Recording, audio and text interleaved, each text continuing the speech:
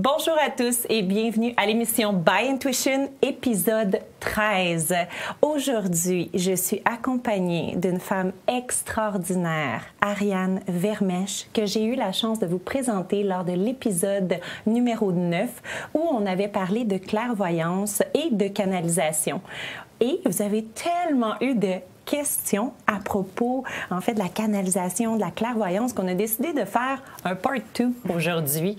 Alors, bienvenue, Ariane. Bienvenue encore une fois euh, parmi nous. Alors, pour commencer, vu que c'est l'épisode numéro 13, j'ai vraiment envie de savoir hmm. qu'est-ce que représente le chiffre 13 pour toi, par ton expérience? Totalement, totalement. euh, j'ai pas tant d'expérience avec le chiffre 13. Il m'est jamais rien arrivé. Mais tu sais, souvent, les gens ont une certaine prédominance à penser que c'est un jour ou un chiffre malchanceux. Uh-huh. Mais pour moi, niveau numérologie, le 13, c'est 4.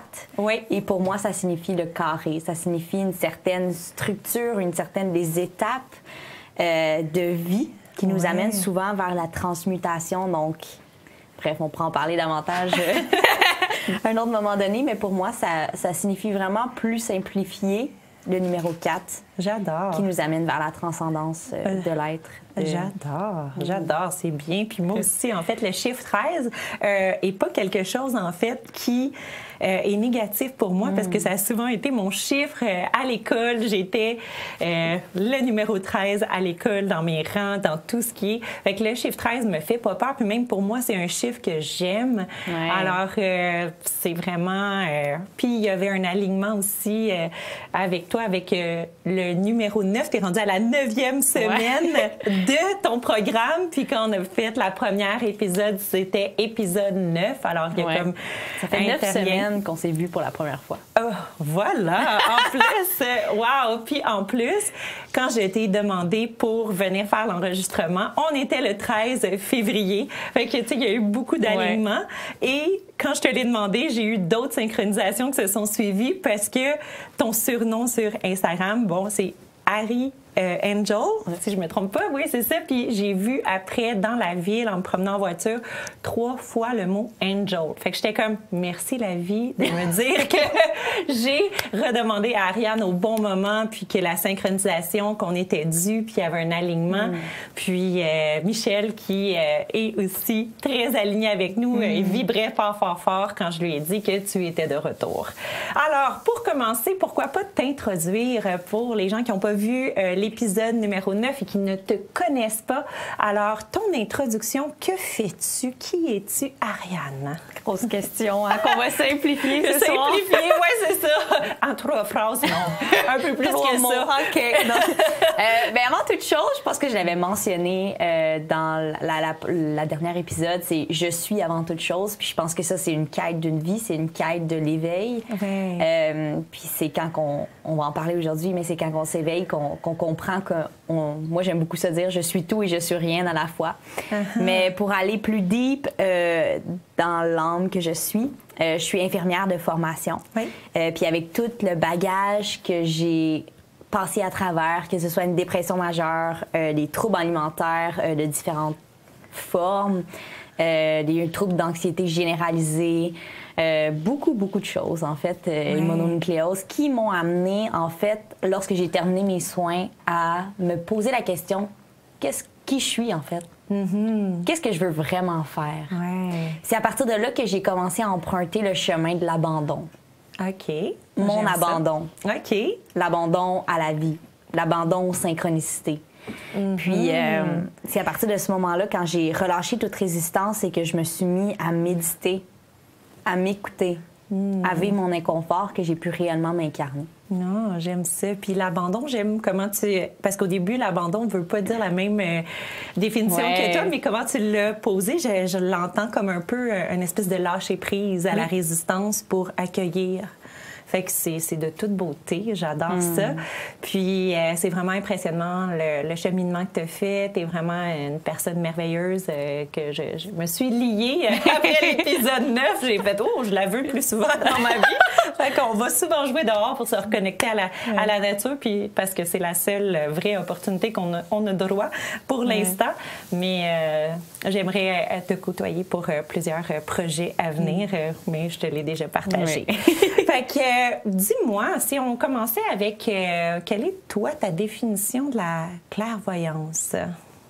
Ben, en fait, tu sais, je peux parler un peu du cheminement qui m'ont amené à comprendre que c'était de la clairvoyance parce que avant, je ne on s'entend que la clairvoyance c'est un c'est un label, c'est un name tag, tu sais. Oui. Euh, mais pour moi, la clairvoyance, ça l'a vraiment, euh, c'est de voir clair. Oui. Non de voir. La plupart des gens pensent qu'il s'agit d'une certaine médiumité mm-hmm. qui nous permet de voir des entités, qui nous permet de, de voir l'avenir. Mm-hmm. Mais je suis rendue dans un point de l'exploration de cette clairvoyance-là où la clairvoyance, c'est seulement de mettre en lumière des choses que les gens ne voient pas. C'est de recevoir des informations, de voir des choses que la personne nous permet d'accéder.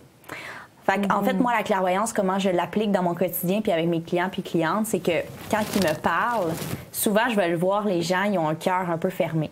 Parce qu'ils font pas confiance, parce qu'ils sont pas nécessairement à l'aise. Mais quand le cœur s'ouvre, comme un, mode de protection, puis là, ils se permettent de s'ouvrir à toi. Ouais. Puis souvent, les gens me parlent, me parlent, puis là, quand ça commence, ça parle, ça parle, je suis comme, OK, là, c'est bon. Ça l'ouvre. Puis là, je suis, ouais, ça l'ouvre, puis là, je suis comme, ah, c'est, je le sais. Voilà. C'est tout. Voilà. Donc, la clairvoyance, c'est un savoir hmm. momentané hmm. de ce qui se présente, euh, d'un questionnement, d'un objet, c'est vraiment ça, la clairvoyance. c'est de voir au-delà de la matière. C'est de comprendre, c'est de recevoir au-delà de la matière. Mm-hmm. Fait qu'il y a plus de profondeur, puis ça, c'est en fait, euh, si je, je, peux le décrire dans mon, dans mon expérience, parce que c'est le fun, parce qu'on le vit un peu euh, tous les deux. Euh, c'est comme si j'avais des messages que le corps, en fait, l'intuition veut me dire sur la personne, puis je suis capable de le dire haut et fort. Voilà. Puis c'est l'intuition, moi, leur intuition à eux qui me parle, le corps qui me parle. Puis je sais même pas qu'est-ce que je vais dire, mais ça sort en fait instantanément. Puis c'est juste ça qu'ils ont besoin de se faire dire pour aller plus loin.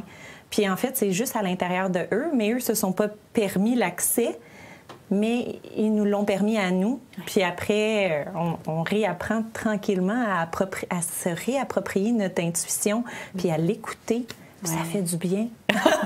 ça allège beaucoup de choses. Oui, puis de ce temps-là, euh, je pense que toi, autour de toi, euh, tes clients, tes clientes qui ont eu beaucoup euh, d'augmentation au niveau du taux vibratoire de la Terre. Ouais. puis il y a beaucoup plus de gens qui recommencent à recevoir leur, leur message ou quoi que ce soit, leur intuition. Totalement, mais c'est tellement... Il faut le démystifier.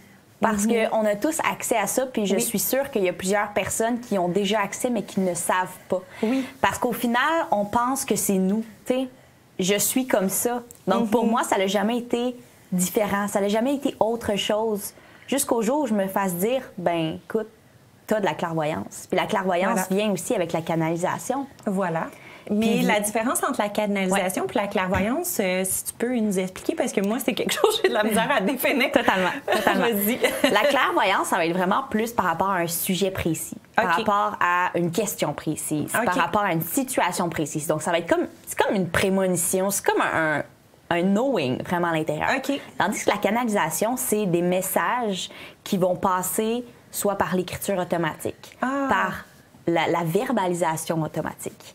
Donc, par exemple, moi, comment j'ai appris que je canalisais, c'est que j'écrivais beaucoup. Euh, quand quand j'étais dans mes années un peu plus sombres, avant de me coucher, je recevais beaucoup de messages mm. sur des sujets que je devais transcender. OK. Et j'avais une clarté automatique parce que j'avais toute la réponse par le biais de l'écriture.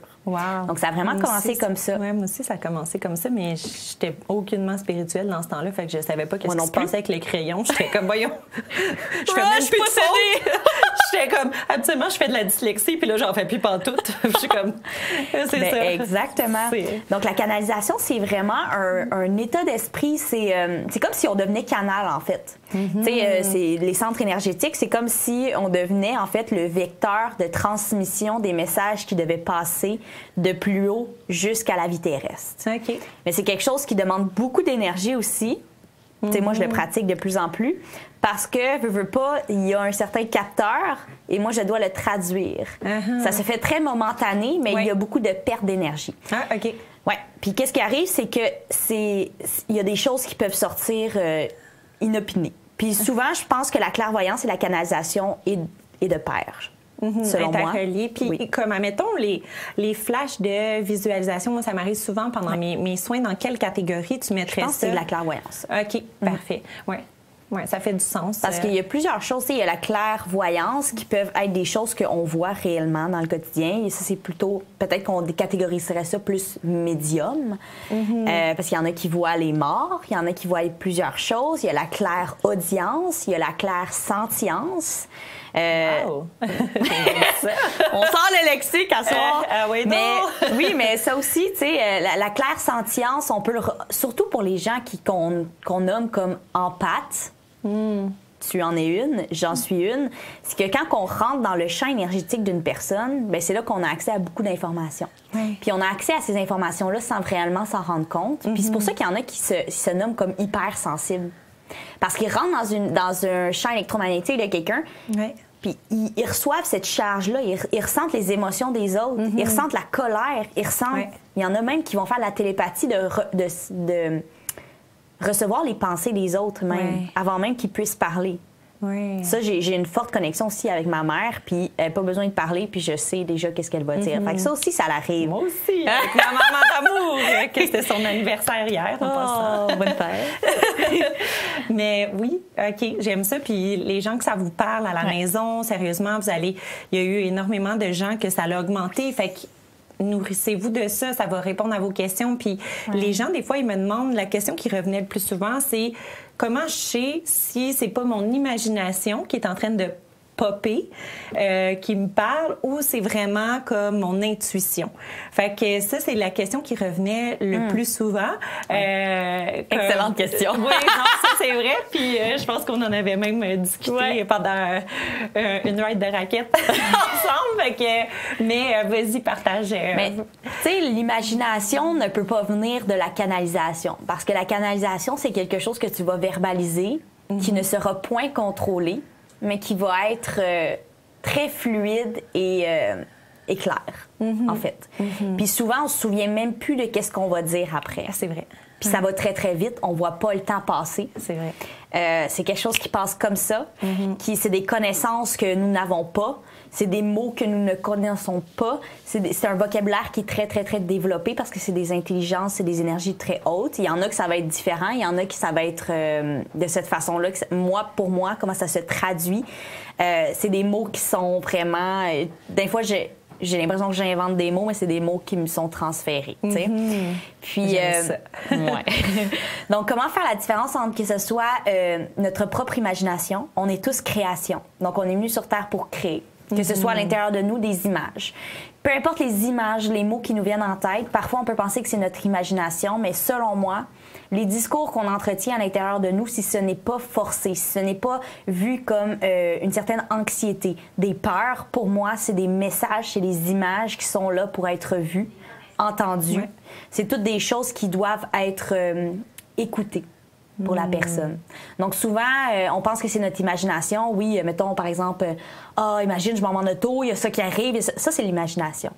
La cascade d'énergie. La cascade C'est d'énergie. du overthinking, peut-être? Voilà. Ça, c'est- ça va être. C'est souvent de l'overthinking qui est relié à des peurs et des croyances du passé, même des vies antérieures, puis des, Des vies. anticipations du futur. des vieilles programmations, en fait, qui datent de notre jeunesse. Voilà. Que j'essaye de balayer puis sortir du corps. That's my job. Yeah, that's it. Euh, oui, mais quand on, on- on avance dans notre cheminement de spirituel, on se rend compte que le moment présent, c'est le seul qui existe, malgré Voilà. qu'on peut avoir des souvenirs du passé Oui. et des anticipations du futur. Lorsqu'on se, re- on se ramène dans la conscience du présent, qu'est-ce qui arrive, c'est que tout ce qui vient à nous, malgré que ce soit... Tu sais, tu peux être en train de faire le ménage, puis il y a une phrase qui pop comme J'en ai pas qui viennent en tête, là, mais c'est une clarté. C'est- C'est une phrase qui te vient Ouais. et qui te permet parfois de, de, de partir ton flot créatif. Ouais. Ben, tu sais, euh, whatever, faut que je m'en aille à Bali. Faut que je book euh, ce cours de formation-là euh, de yoga. Yoga teacher à Bali. Moi, c'est ça qui m'est venu, puis ça, ça m'a amené là-bas. C'est c'est un flash que j'ai. C'était puissant, puis il fallait que je le fasse. Puis ça vient avec random, out of nowhere. Quand tu t'en attends pas, tu es en train de passer à la balayeuse, puis euh, ou en train de conduire, puis euh, ça pop-up, mais tu le, tu le feels avec une certitude. C'est ça le plus important. C'est qu'il y a comme un- une certitude, mais si c'est dans la certitude, c'est moment, dans le moment. Ouais. Mais c'est après que tu peux over-analyser, puis là que ça va être ton ego ou ton mental qui va popper, puis qui va venir se battre avec ton intuition profonde. Fait que là, ça va être comme la peur. Ouais, mais là, je devrais-tu faire ça? Ah, mais là, je devrais pas y aller, faire ma formation de yoga teacher à Bali. Ça va coûter cher. Ta, ta, ta. Tu sais, c'est des peurs qui embarquent. Moi, c'est vraiment, ça vient, mais là, c'est pop. C'est ça qu'il faut que je fasse. Puis après, quand j'y vais avec ce message profond-là que j'y étais, toutes les synchronisations s'enchaînent. Tout est facile. I go with the flow. C'est les choses se mettent en place.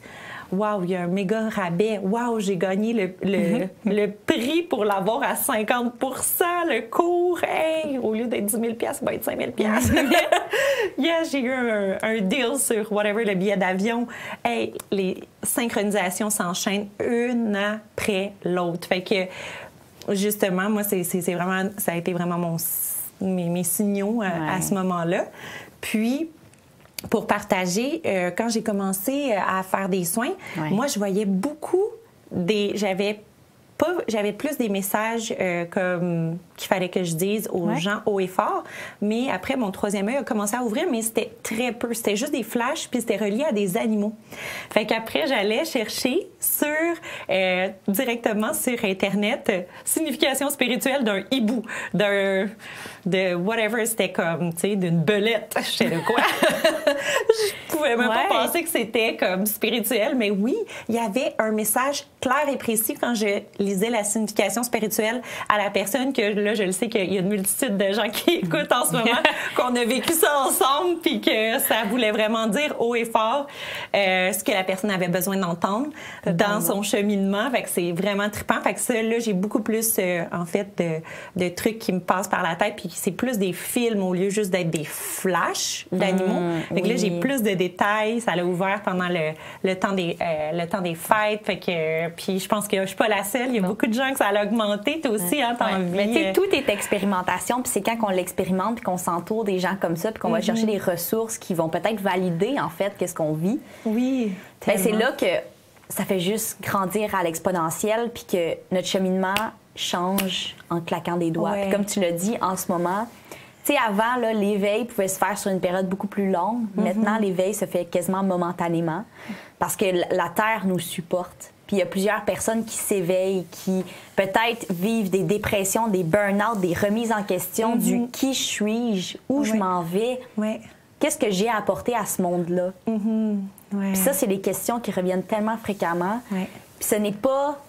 Ce n'est pas. Tu sais, la COVID, c'est c'est un beau cadeau pour vous, qui vous Ouais. permet de vous retourner à l'intérieur de vous puis de vous éveiller de consciencieusement, en Ouais. fait. De faire du ménage intérieur, en fait, pour se libérer de, de programmation du passé, puis de justement, tu sais, oui, que ça peut être des moments rough, mais ça peut être des moments montagnes russes, tu sais, c'est comme, mais on libère, on se libère de ce qui ne nous sert plus pour Tellement. faire de la place à l'intérieur, pour vibrer plus fort.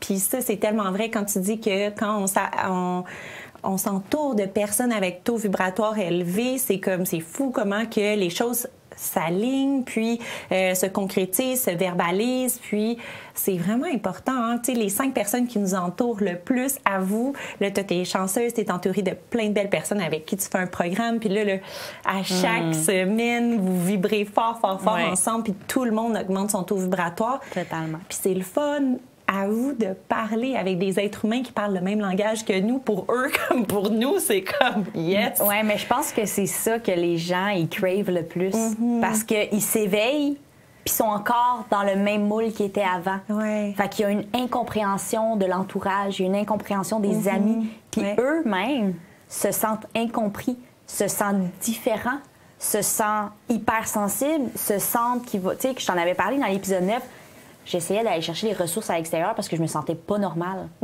Jusqu'au Voilà. jour où je me dise, ben c'est moi ma normalité. Parce qu'on est tous différents. Voilà. On n'est pas venu sur Terre pour pouvoir rentrer dans le moule que le chum, la mère, le père veut que j'emprunte, que mon enseignant veut que j'emprunte, que la société veut que j'emprunte. Parce que toi-même, tu es venu sur Terre pour pouvoir incarner le corps que tu as choisi, pour pouvoir incarner en fait la mission, le chemin lumineux que tu traces devant toi à chaque jour, puis à chaque décision, puis à chaque intuition. Voilà, voilà. C'est pour ça qu'on a choisi ce corps, cette vie-là, cette euh, incarnation-là. C'est pour ce rôle-là qu'on est venu jouer, puis cette expérience-là qu'on est Ah venu oui. vivre.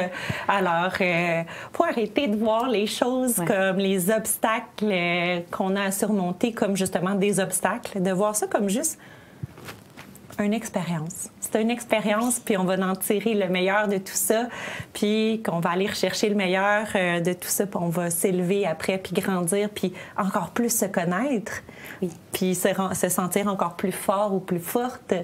Fait que, euh, puis euh, pour toi, dernièrement, euh, l'éveil, le taux vibratoire de la Terre a vraiment augmenté dernièrement. Pendant le, le temps des fêtes, on a vraiment vu ça autour de nous. Euh, puis toi, comment, comment ça se passe? Comment ça s'est passé? Qu'est-ce que... Qu'est-ce que tu veux nous partager à propos de ça? Je sais qu'il y a eu beaucoup de choses, mais comme, en résumé. My God.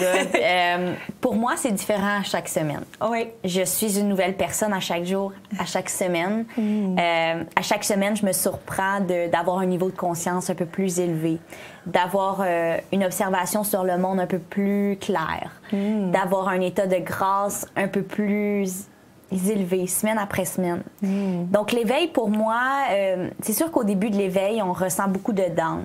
On pleure, on se nettoie, on nettoie notre peine, on nettoie nos croyances, on nettoie nos peurs. On fait face à une certaine euh, réalité qu'on croyait réelle, Ouais. mais qui était illusoire.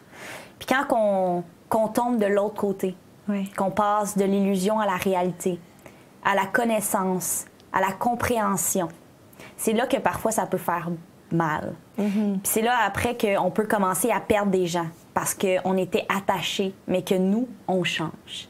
L'attachement à travers ces, ces différentes séquences de vie nous amène momentanément à un éveil plus profond de notre être.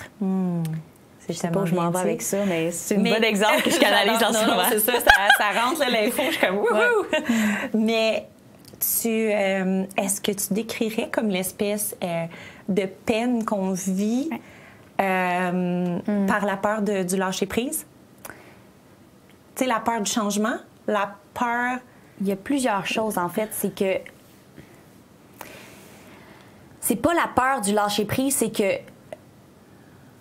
les gens ne connaissent pas la suite. Voilà. C'est ça qui fait le plus peur. Ouais, Ce n'est pas le lâcher prise, c'est que les gens ne savent pas comment lâcher prise. Mm-hmm. Ils pensent que lâcher prise, c'est d'être dans le déni, que c'est de tout abandonner. Mm.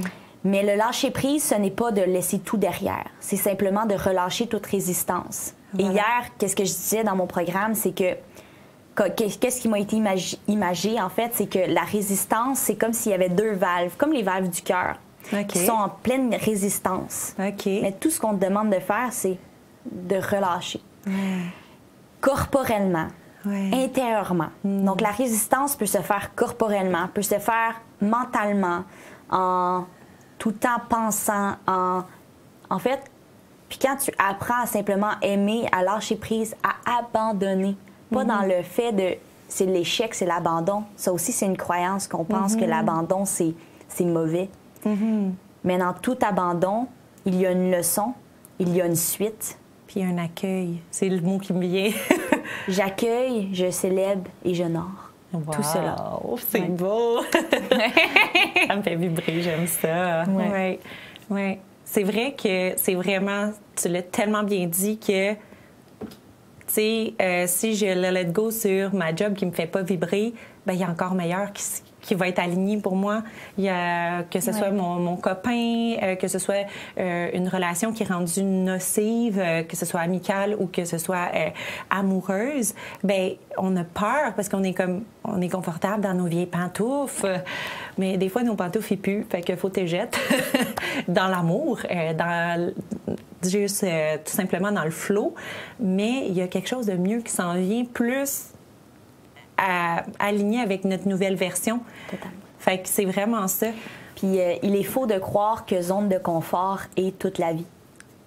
Oh, oui, ça c'est tout Puis, à fait euh, vrai. la chose qui m'est venue lorsque tu parlais, c'était le signe de l'infini. Le signe de l'infini, on voit ça souvent. Ah, c'est infini, nanana. OK. Mais c'est une non-finalité. C'est ce que nous sommes, c'est une non-finalité. Oui, le corps physique a une finalité périssable. L'âme n'est point finalité. Et comment aussi je le, je, le- je le dessine chez les clientes et les clients, c'est le signe de l'infini, c'est aussi une oscillation entre deux pôles. C'est on navigue le confort et on navigue l'inconfort. Puis nous, on est au centre. Mmh, c'est qu'à travers ce confort-là et ce- cet inconfort-là, on navigue les deux. Mmh. Mais c'est une roue sans fin. Voilà. Il, il est, il est illusoire de, de penser que l'inconfort ne nous arrivera plus jamais. On va toujours faire face à un inconfort, malgré qu'on pense qu'on a passé par-dessus ou qu'on a essayé de fuir. Ça va toujours revenir d'une différente manière, de vecteurs différents. Mais on va être outillé d'une manière différente à y faire face. Et on aura une conscience et une fréquence autre qui nous permettra de- d'accueillir Ouais. et d'honorer et, de, passer- célébrer Oui, d'une de- autre manière. Voilà, de passer au prochain step, en fait, euh, ça va être ça. Puis de plus en plus qu'on on, on est prête à pâcher, pa- voyons, à pâcher, m'acheter des voyelles, là, voilà, c'est l'heure. Euh. Plus qu'on est prête à passer à l'autre étape, plus qu'on est dans l'accueil, puis dans justement le lâcher prise au lieu d'être dans la résistance, plus que c'est facile. Puis moi, je me suis rendu compte à quel point euh, anciennement, euh, faire un lâcher prise sur quelque chose me prenait des mois.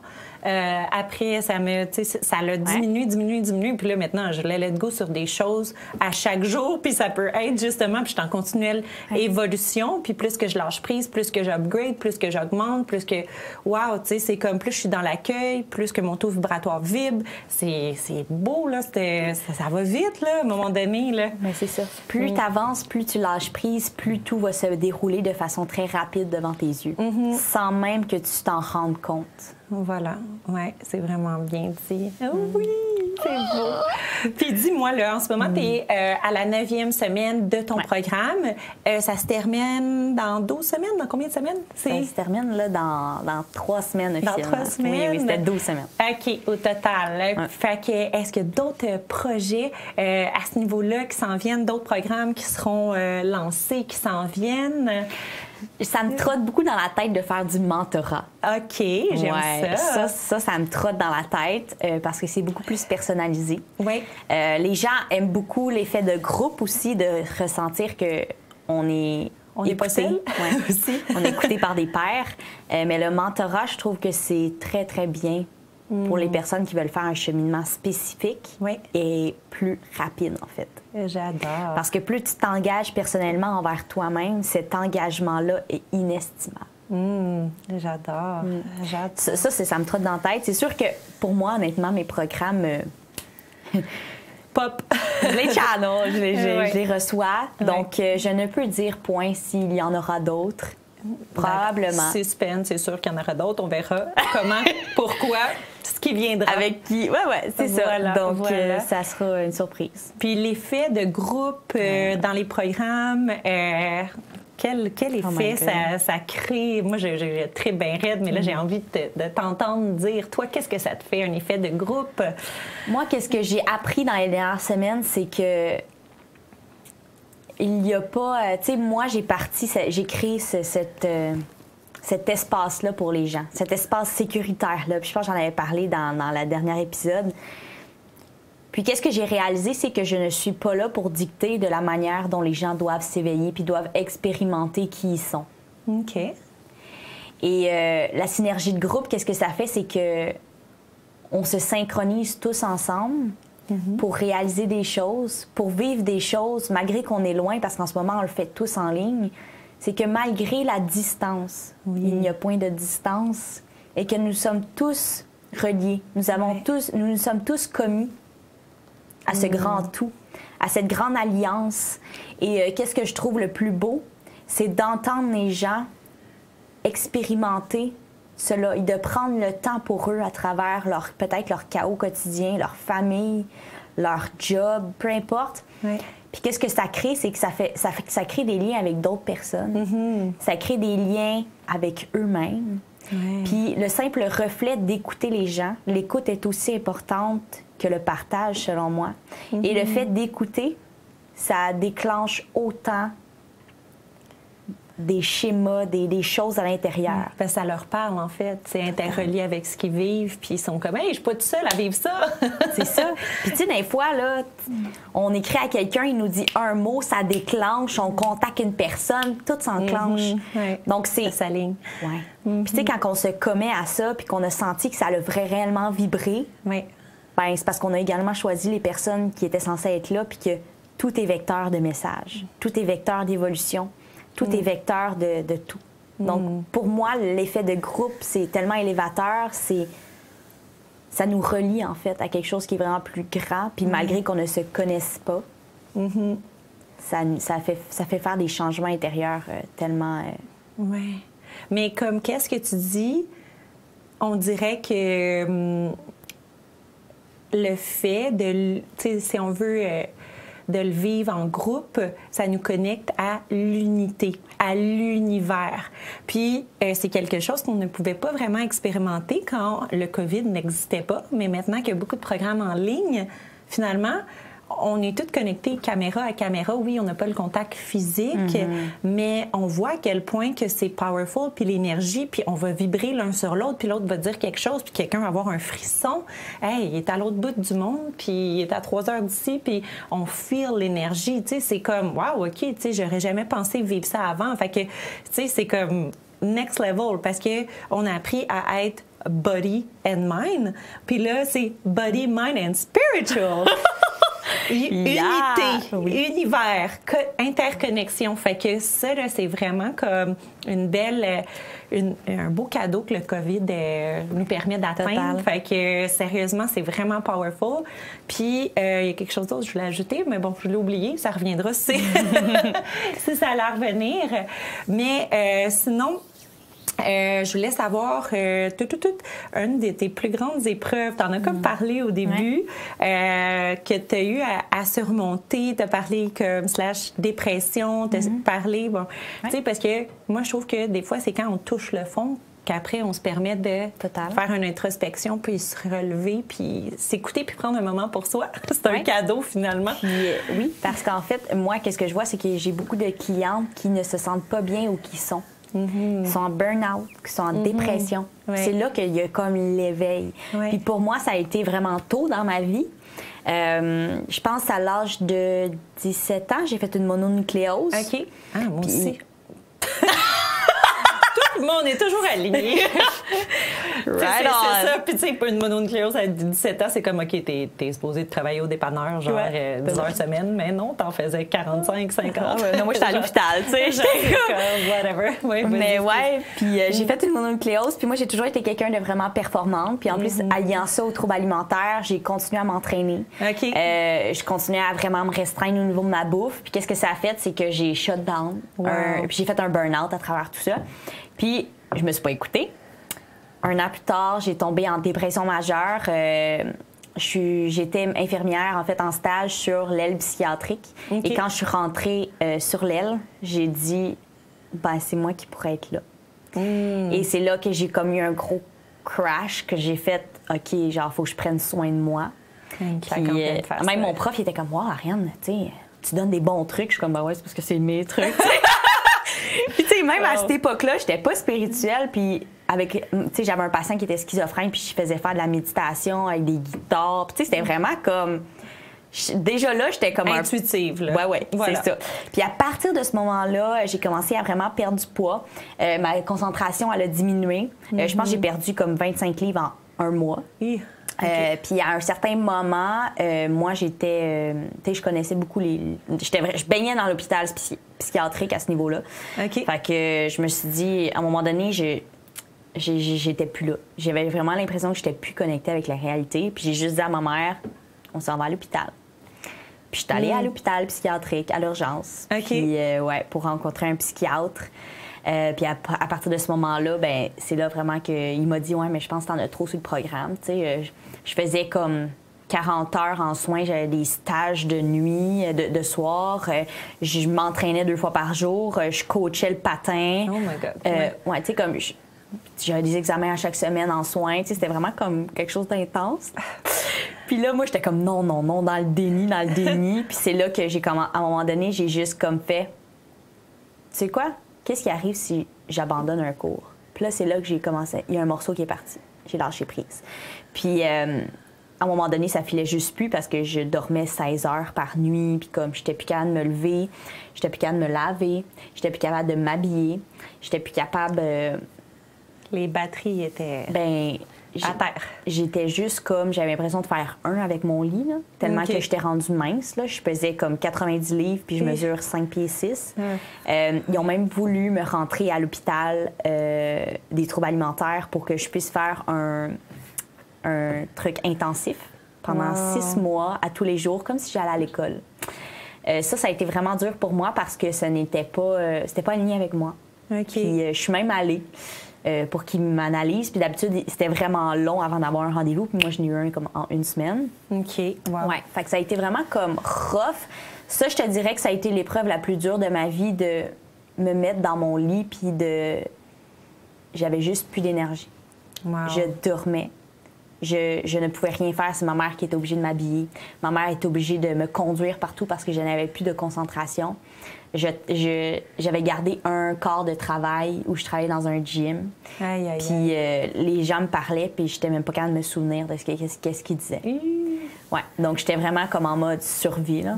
J'étais C'est le vraiment. cas de le dire. Ouais. Wow. Puis euh, j'étais plus capable de m'entraîner, j'étais plus capable de performer dans mes, dans mes performances au patin parce que j'avais plus de muscles. Euh, j'étais à fleur de peau, je braillais tout le temps. Mon coach il me disait pousse plus fort, je braillais. tu sais, il y avait comme Ah, rien aïe, qui fonctionnait. Puis euh, Wow, c'est la première fois que tu m'en parles que ben Ouais. tu sais t'en, parles autant fait que c'est Ouais. vraiment euh, c'est, c'est- moi, ça me fait ben c'est trippant de voir le cheminement les gens à, à travers quoi qu'ils ont passé c'est comme wow puis ça me fait juste euh, je veux pas te, te couper ça me fait juste euh, penser en fait à euh, Jessica Brodeur que je vais recevoir dans Oui, deux semaines oui. qui est euh, justement qui parle euh, de troubles alimentaires puis que ça va être vraiment trippant aussi euh, Oui. à ce qu'elle en parle de son cheminement fait que euh, c'est je une la- femme absolument incroyable. Je sais, à chaque fois que je, vois, je like ses photos, je vois Ariane Vermeuch, elle a déjà Oui, ben, on, on ben, on s'est souvent soutenu parce que moi, tu sais, ça, ça a passé par une période d'anorexie, OK. euh, d'orthorexie. On en avait parlé la dernière fois, mais après, ça a tombé, moi, en hyperphagie boulimie. Aïe, aïe, aïe. Puis je vais en parler super ouvertement. Euh, c'est pas quelque chose que je suis fière, mais je pouvais manger pendant une heure et demie, deux heures. Puis après, tu sais, comme je pouvais manger n'importe quoi. Je pouvais manger de la crème glacée, je pouvais manger des pâtes, je pouvais tout ça mélanger. OK. Puis euh, moi et Jessica, on se ressemblait beaucoup à ce niveau-là parce Ok. qu'on a vécu ça de façon très parallèle en même temps. Wow. Euh, maintenant, nos chemins ont pris deux tangentes différentes. Elle, Mhm. elle est vraiment plus dans, dans le, le partage des troubles alimentaires. Euh, mais moi, j'ai vraiment transcendé tout ça Mhm. par la spiritualité puis par la compréhension de la connaissance et de l'origine de mon âme au-delà de ma représentation de mon corps physique. Going Dit-elle. deep. Elle a reçu le message. Avez-vous compris de quoi? Non. Ben, en fait, j'ai non, j'ai non, non, mais pour les gens, j'ai appris à me désidentifier de mon corps. Puis, euh, des fois, ça m'arrive d'avoir des, des vagues de comme on dirait que ah, ah, tu sais comme je me surprends moi-même de recevoir encore des, des pensées un peu plus troublantes parce qu'à cette époque-là, je voyais une psychologue puis j'étais comme je pouvais y arriver en une semaine, je pouvais savoir tout ce que j'avais mangé, les trois repas pendant une semaine complète. Maintenant, je me souviens même plus ce que j'ai mangé genre le matin, tu comprends? Mais c'était tellement obsessionnel que je Wow. pouvais que penser à ça. Wow. Mais c'est beau parce que ça m'a amené où je suis. Oui, définitivement. C'est ça. C'est comme nos, nos plus gros, euh, si on veut, euh, Ouais. euh, étapes, nos plus grosses étapes ou épreuves à surmonter, c'est ceux qui nous rendent euh, le- la meilleure version de nous-mêmes, tu sais. Puis c'est ça qu'il faut accueillir, Ouais. tu sais. Puis aller le visiter, puis l'accueillir au lieu de fighter, qu'on- tu sais, de, de détester cette partie-là. On l'accueille, regarde, il c'est là pour une raison, tu sais. C'est de toute beauté, mais moi, c'est vraiment quelque chose qui me... euh, c'est quelque chose, j'ai aucune connaissance là-dedans. Euh, trouble alimentaire, c'est quelque chose que j'ai jamais visité de ma vie pour une tu sais, je- veux dire, j'ai jamais, ça m'a jamais été euh, obsessionnel. Fait à chaque fois que j'entends parler de ça, je suis comme, wow, tu sais, puis il y a beaucoup de gens là, qui vivent ça, là, c'est incroyable, là. puis autour de moi, puis qui m'ont fait des, des aveux là-dessus, fait que ça m'interpelle parce que il y a une multitude de, de gens là. C'est très présent. Très présent. Puis moi, je comme, on dirait, voyons, je suis passée à côté. Mais tant mieux pour toi. tu sais, j'ai vécu bien d'autres choses, Ben, mais c'est ça. comme justement, mais c'était pas présent dans cette vie-ci, peut-être à surmonter, mais ça, ça me, ça me parle parce que Ouais. c'est quelque chose, j'ai aucune connaissance, si on veut, aucun vécu. Mm-hmm. Puis la plupart des bobos que je passe à travers avec les gens qui, euh, mes patients, mes amis, ma famille, euh, c'est quelque chose à- auquel j'ai goûté puis que j'ai passé à travers. Mais ça. Mm-hmm. je prends de l'info, tu sais, parce que je comme, ah, c'est intéressant, tu sais, parce que je veux aider les gens qui passent à travers ça. Mais quand tu ne l'as pas fait, euh, c'est le fun d'en entendre, là, j'en mange. Mais tu sais, c'est souvent les, les grandes âmes qui vivent ça parce que c'est un problème d'incarnation. C'est un rejet du corps physique. Donc l'âme n'arrive pas à s'incarner dans le corps. wow! Ouais. OK. C'est- très, très, très puissant. Puis c'est, euh, puis j'en ai parlé avec ma prof de yoga en fin de semaine, puis j'étais comme la fois où j'ai su naviguer mon inconfort, c'est là que je me suis réellement incarnée.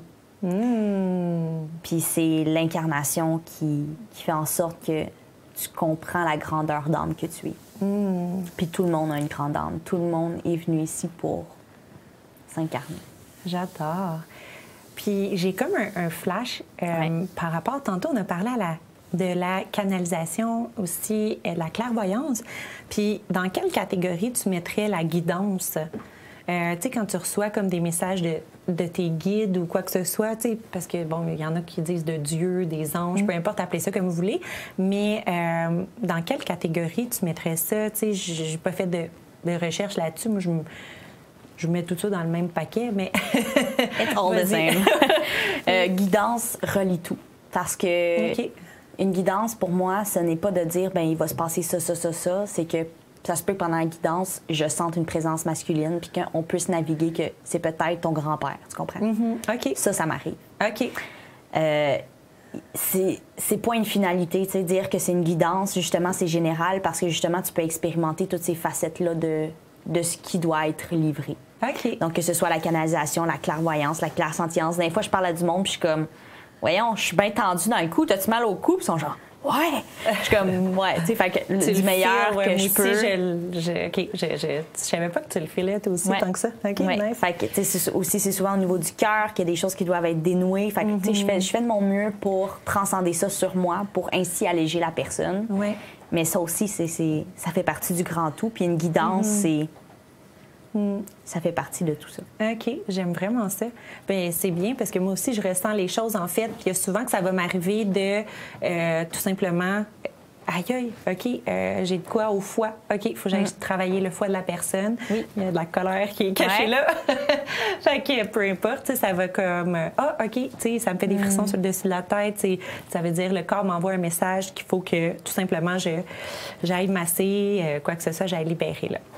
Mais euh, en tout cas, je voulais juste savoir, euh, avant qu'on termine le tout, Oui. est-ce que tu aurais quelque chose euh, à ajouter, à nous faire part, que, euh, auquel que tu voulais nous partager, puis qu'on n'a pas eu le temps de souligner aujourd'hui, ici même? Euh, ben, en fait, tantôt, il y a quelque chose qui m'est venu que j'ai pas eu la chance de partager. C'est que, tu sais, on avait dit l'intuition, ça devient momentané.